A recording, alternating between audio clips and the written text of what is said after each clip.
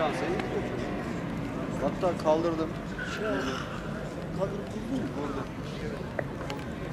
Saat 7.43'te deprem oldu. Denizli Pamukkale ilçesinde e, berber dükkanında çalışırken e, depremi hissetmedim ama insanlar dışarıya çıkınca e, ben de deprem olduğunu fark ettim.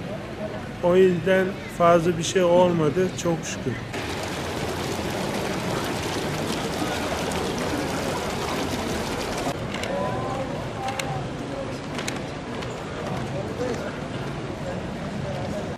Şimdi e, depremde ben bir uğultu geldi. Ben sandım ki bizim yan tarafta komşu bazen böyle palet malet indiriyorlar. Onun paleti sandım ama farklı bir şeydi.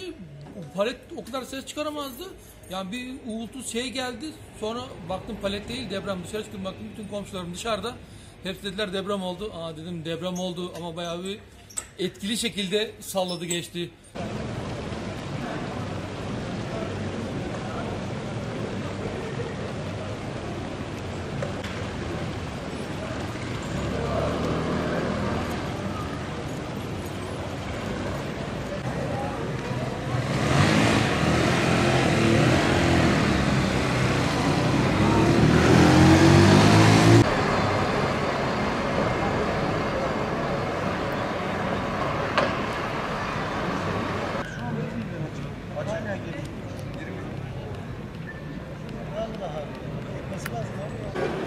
みんな。